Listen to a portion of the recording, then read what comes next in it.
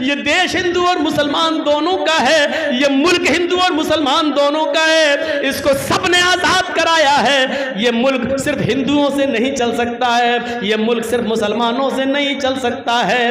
ये मुल्क तभी चलेगा जब कांटा राम को चुभे और उसका दर्द रहीम के दिल में हो, और जब रहीम की बेटी मरे तो उसका दर्द और उसकी तकलीफ़ राम को हो। जब तक यह एहसास हमारे अंदर पैदा नहीं होगा, ये मुल्क मेरे भाइयों तरक्की की राह पर गामजन नहीं हो सकता है। कल तक एक मुसलमान दाढ़ी वाला स्कूटर चलाता था तो उसका दोस्त उसके पीछे शंकर की शंकर भगवान की मूर्ति लेकर या गणेश की मूर्ति लेकर बैठ जाता था कि मुझे मेरे घर तक छोड़ दो।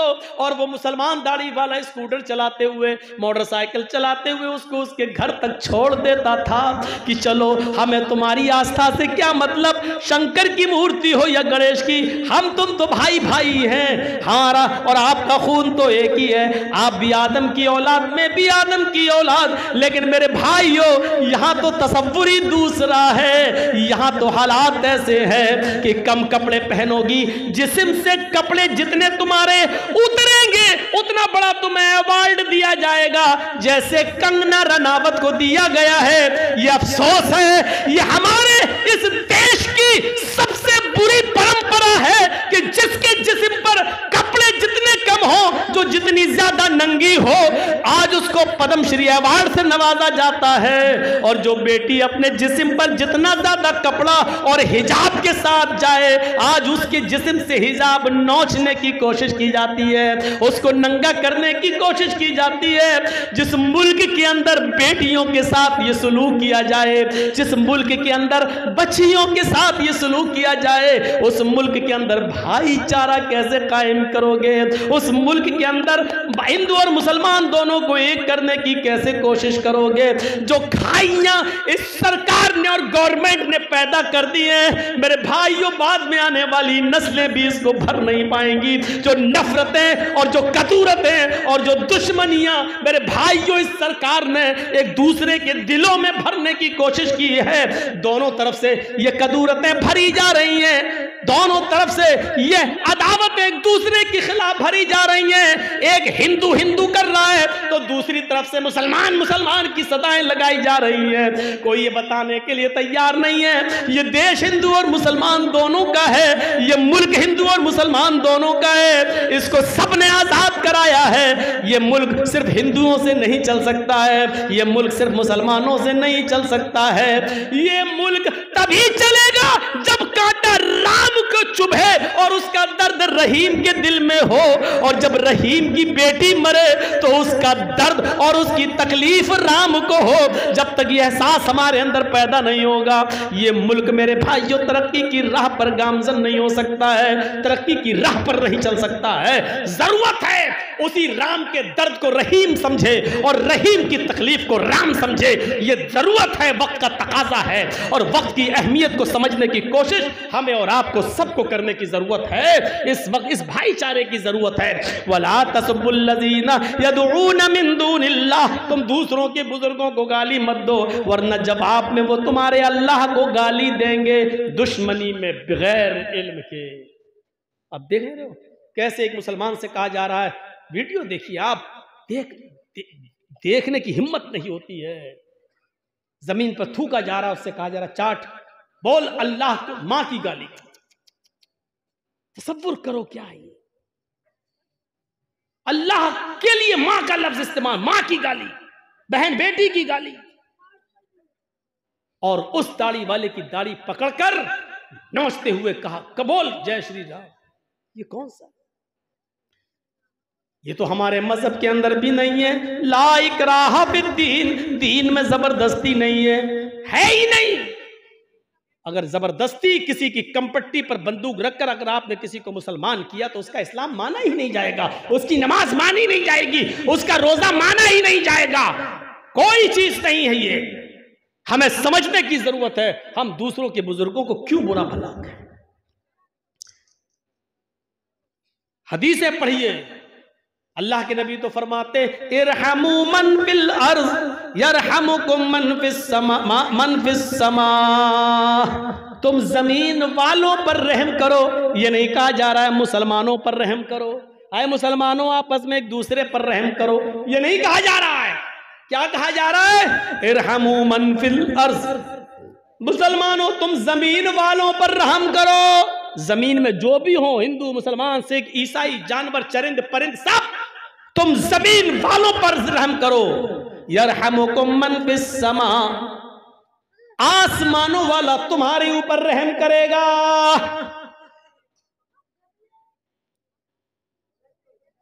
हमारे पड़ोस में एक हिंदू रहता है, उसका बच्चा बीमार है, हॉस्पिटल के अंदर एडमिट है रमज़ान का महीना चल रहा है।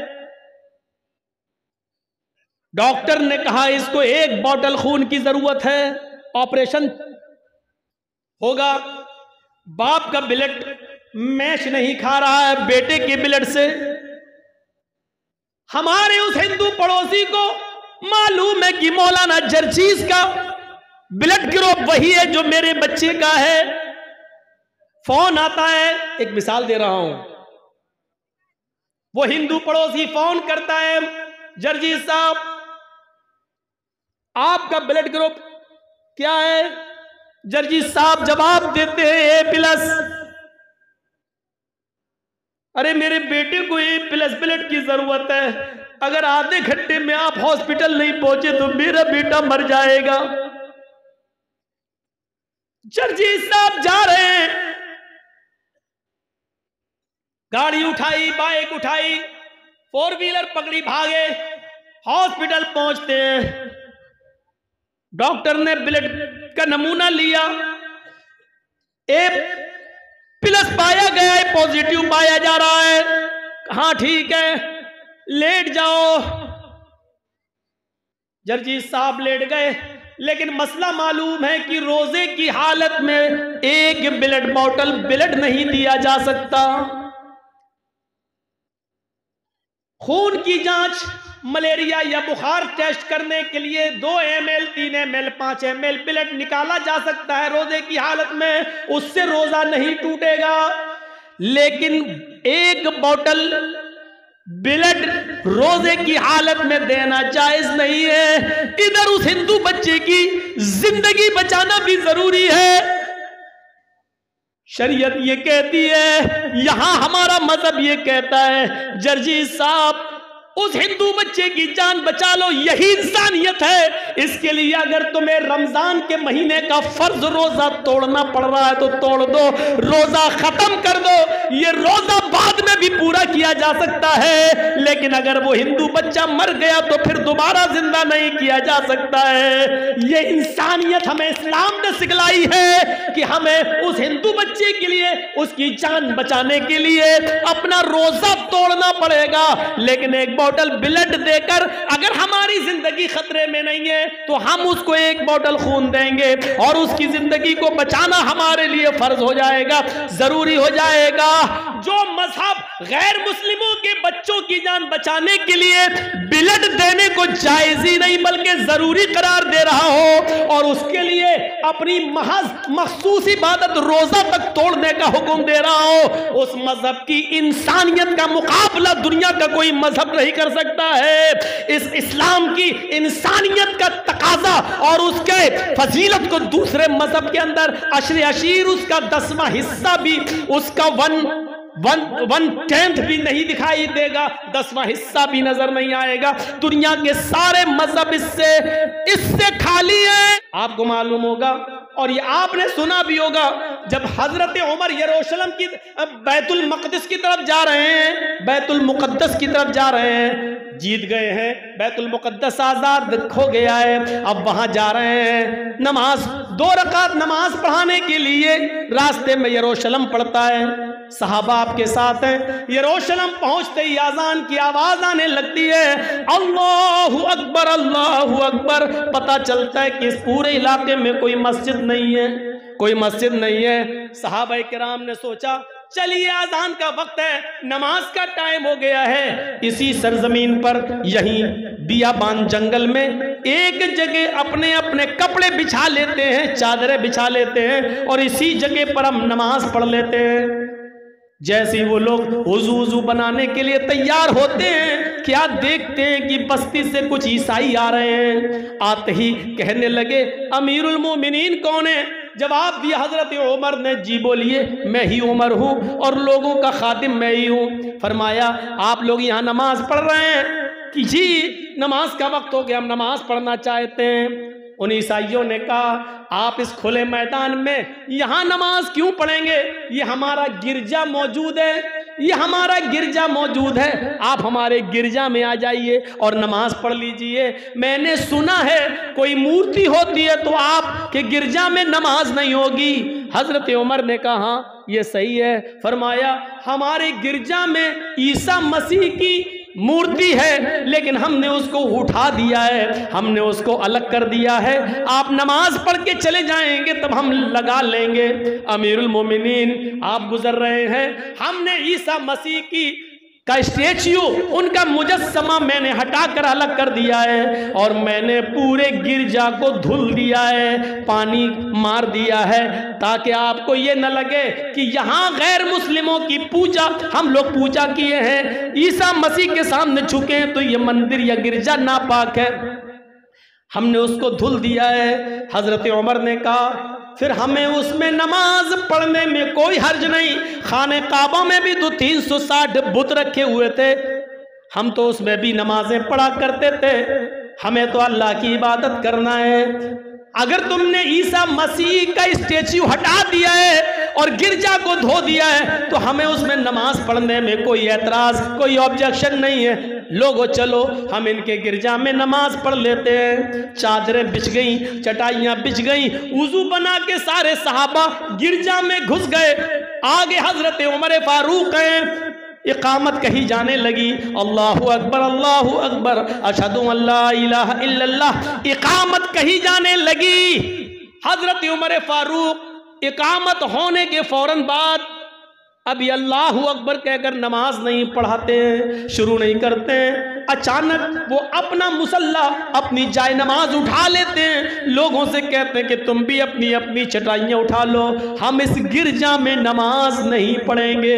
बाहर निकल गए और फिर उसी मैदान में चटाइयाँ बिछाई, उसी मैदान में चादरें बिछाई और उसी मैदान में हज़रत उमर ने नमाज़ पढ़ाई। जब नमाज़ खत्म हो गई तो वो ईसाइयों का पादरी रोते हुए आया। अमीर क्या हो गया है? हमने तो आपको इजाज़त दे दी थी क्या हमारा गिरजा इतना बेकार है जो आपकी नमाज़ के लायक नहीं है? क्या यही भाईचारा है? क्या यही एक दूसरे में भाईचारा कायम करना चाहा आपने?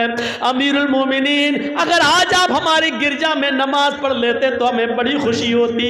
हज़रत उमर ने उस ईसाई के, उस पादरी के आँखों के आंसुओं को पोछा, उसको अपने सीने से लगाया और कहा, नहीं, मैंने किसी दुश्मनी में नमाज़ नहीं पढ़ी। ये मत सोचना कि मैंने किसी दुश्मनी की वजह से नमाज़ पढ़ी या मजहबी दावत की वजह से नमाज़ नहीं पढ़ी, ये मत सोचना।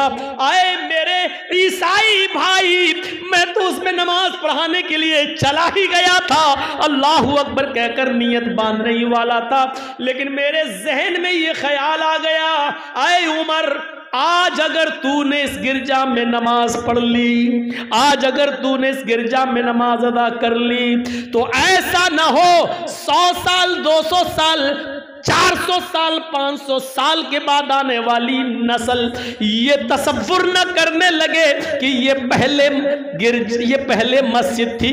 इसमें उमर ने नमाज़ पढ़ी थी, उमर के साथियों ने नमाज़ पढ़ी थी। कहीं बाद में आने वाली नस्ल इस गिरजा को मस्जिद समझकर कहीं गिरजा को तोड़ न दे, कहीं गिरजा को गिरा न दे, कहीं तुम्हारी गिरजा को तोड़कर उसको मस्जिद न बना ले। इस डर घर से मैं निकल गया ताकि किसी को ये एहसास ना हो कि इसमें नमाज़ पढ़ी गई। अगर किसी को सौ साल, दो सौ साल के बाद, मेरे इंतकाल के बाद ये कहने का मौका मिल सकता है कि इसमें तो उमर और साहबा ने नमाज़ पढ़ी है तो पहले मस्जिद थी। तुम्हारा गिरजा तोड़ कर यहाँ मस्जिद बनाने का एक बहाना उनको मिल सकता है। इसलिए हम इस गिरजा में नमाज़ नहीं पढ़े ताकि बाद में आने वाली कोई नस्ल इस गिरजा को तोड़कर मस्जिद मस्जिद बनाने का दावा या मस्जिद होने का दावा न कर दे। इस तरह से दूसरों की इबादत गाहों की हिफाजत होती थी मेरे भाइयों। आज तस्वुर किया जा सकता है। आज आज तस्वुर नहीं किया जा सकता है। आज तो जिसकी लाठी उसी की भैंस, अदल और इंसाफ नाम की सारी चीज़ें उठ चुकी हैं, इसलिए इंसानियत भी उठ चुकी है। आज देख लो मेरे भाइयों, और ऐसा इंसाफ इस ज़मीन की नज़रों ने और आसमान की आँखों ने, इस ज़मीन की छाती ने और आसमान की आँखों ने एक मंजर और देखा, कि उसी मुल्क के शाम के अंदर हज़रत उमर फारूक का बेटा खजूर के सड़ जाने के बाद जो रस होता है, उसमें नशा आ गया था वो नबीज बन गई थी। और उसने उठाया और पी लिया और उसमें नशा आ गया था। यह खबर जब वहाँ के गवर्नर को मिली तो उस गवर्नर ने हज़रत उमर फारूक के बेटे को बुलाया और पूछा, क्या तुमने नबीज पी ली थी? नशा इस्तेमाल कर लिया था? उसने कहा, हाँ। नबी रखी हुई थी खजूर का रस, वो सड़ चुका था, मुझे पता नहीं चल सका कि ये सड़ गया और इसमें नशा आ गया था। मैंने जब पी ली तो पीने के बाद मुझे नशा आ गया। हाँ मैंने ये गलती की है, मैंने नशा कर लिया था। कहा खड़े हो जाओ? हज़रत उमर फारूक के बेटे पर चालीस कोड़े मार दिए गए। चालीस कोड़े पड़ गए। लेकिन मदीने में जब हज़रत उमर को पता चला कि मेरे बेटे को मुल्क शाम में शराब पीने के नबीज पीने के, नशे वाली चीज़ इस्तेमाल करने की वजह से नशा आ गया था, पता चला कि वहाँ के गवर्नर ने उनको चालीस कोड़े मार दिए।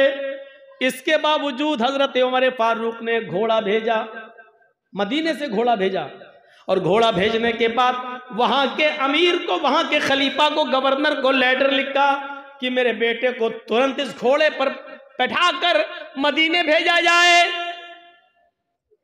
घोड़ा मुल्क शाम पहुँचता है, रुका मिलते ही हमारे इब्ने हास ने, अमर इब्ने हास ने उनके बेटे को उस घोड़े पर बिठा कर रवाना कर दिया।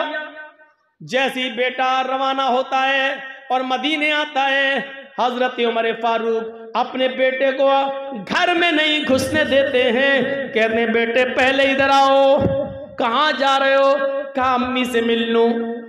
बहुत दिनों बाद आ रहा हूँ। अम्मी से मुलाकात कर लू, माँ से मिल लू। जवाब दिया, बेटे, अभी माँ से मत मिलो। अभी इधर आओ।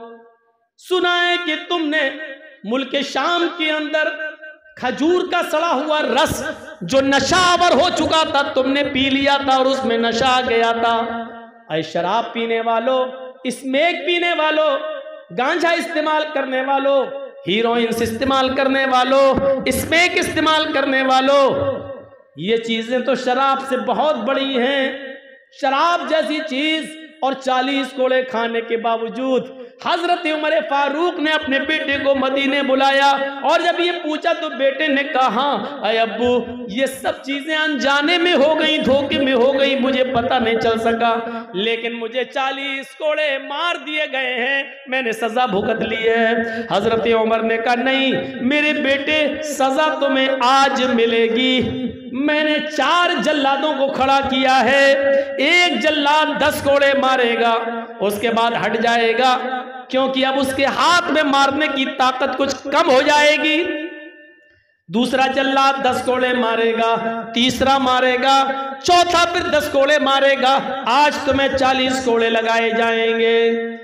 बेटे ने कहा अबू जान, ये तो जुल्म है। का नहीं मेरे बेटे? यही इंसाफ है, यही अदल है। खड़ा कर दिया गया और उस बेटे के जिस्म पर बाप ने हज़रत उमर ने अपनी आँखों के सामने कोड़े पड़वाए अपनी आँखों के सामने उस बच्चे पर कोड़े पड़ रहे हैं।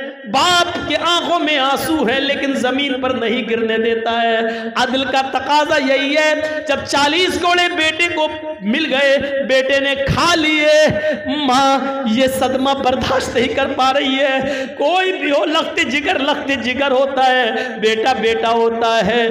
लेकिन उसने तुतलाते हुए जबान में पूछ ही लिया अमीर मेरे बेटे को ये बाद में चालीस कोड़े किस हैसियत से मारे गए हैं? अरे मेरे शौहर, जब चालीस कोड़े मुल्क के शाम में पड़ चुके थे तो यहाँ किस जुर्म में उसको कोड़े लगाए जा रहे हैं?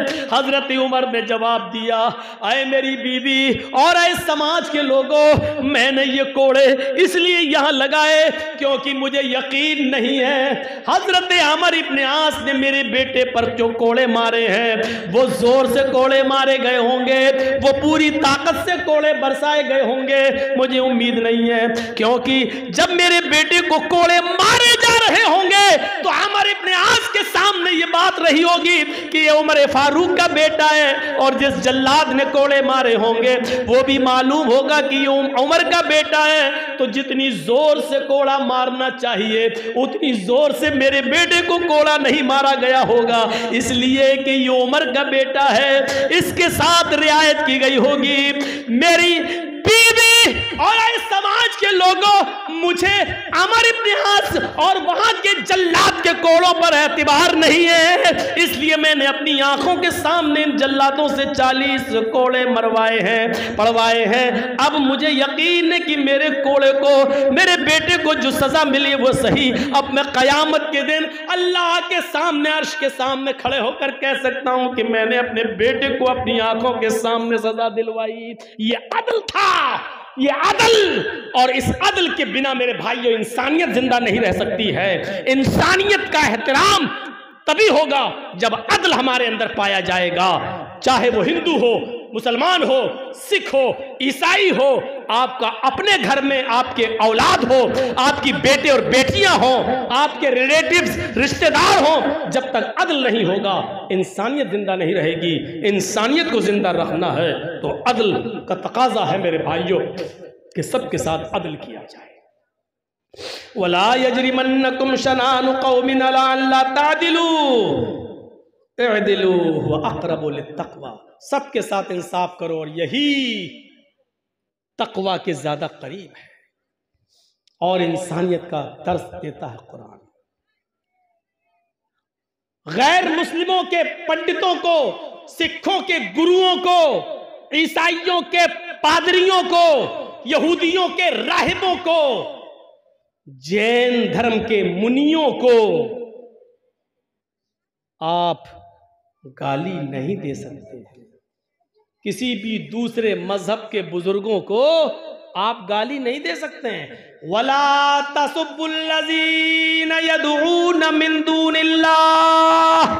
अल्लाह को छोड़कर जो दूसरों की इबादत करते हैं, दूसरों की पूजा करते हैं, तुम उनको गाली मत दो। कुरान कह रहा है, वला तसुबुल्लजीन यदून मिन अल्लाह के अलावा जो दूसरे मबूदों की, दूसरे खुदाओं की पूजा करते हैं इबादत करते हैं तुम उनको गाली मत दो। फयासुबुल्लावन ऐसा न हो कि तुम उनके बुज़ुर्गों को, उनके महान पुरुषों को तुम गाली दो तो जवाब में वो तुम्हारे अल्लाह को, तुम्हारे रब को गाली दे, बगैर इल्म के। ये लीजिए। जवाब में कहीं ऐसा ना हो कि वो तुम्हारे रब को गाली दे। ऐसा होता है ना? ऐसा होता है। ये क्या था? इन पाँच, छह, बीस, पच्चीस, पचास लड़कों ने घेर कर एक लड़की से कहा, क्या कहा? जय श्री राम जय श्री राम इसने जवाब में कहा, अल्लाह अकबर अल्लाह अकबर। ये क्या था? ये क्या था?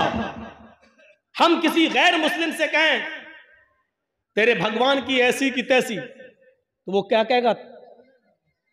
कठमुल्ला, तेरे अल्लाह की ऐसी की तैसी। हुआ क्या? ये बिल्कुल वही है अपने रब को गाली देना। अल्लाह के रसूल ने कहा कि तुम लोग अपनी माँ को गाली मत दो। साहबा ने कहा, अल्लाह के रसूल अपनी माँ को कौन गाली दे सकता है? आपने कहा, तुम दूसरों की माँ को गाली दोगे। जवाब में वो तुम्हारी माँ को गाली देंगे तो इसका मतलब यह है कि तुम खुद जिम्मेदार हुए अपनी माँ की गाली के।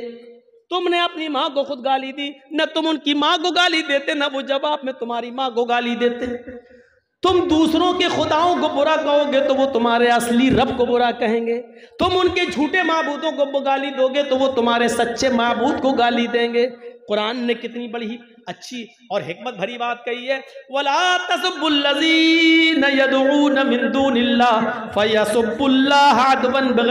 इल्म। तुम दूसरों के माबूदों को गाली मत दो, दूसरों के बुज़ुर्गों को गाली मत दो, जो अल्लाह को छोड़कर दूसरों की इबादत करते हैं, तुम उनको गाली मत दो। ऐसा ना हो कि वो तुम्हारे अल्लाह को दुश्मनी में गाली देने लगे। और इल्म न हो, यानी जिहालत की वजह से गाली देने लगे। तारीख में बताती है, मेरे प्यारे साथियों कभी अल्लाह के रसूल ने और साहबा ने कभी दूसरों के बुज़ुर्गों को गाली नहीं दी। न बुरा भला कहा है, सिर्फ़ इतना कहा है, लोगों, इन तमाम माबूदा ने बातला से बचकर एक अल्लाह की इबादत करने वाले बन जाओ। न कभी हमारे नबी ने, न हमारे रसूल ने, न हमारे साहबा ने कभी किसी की दूसरे की मजहबी इबादतों पर कब्जे किए हैं। कभी नहीं।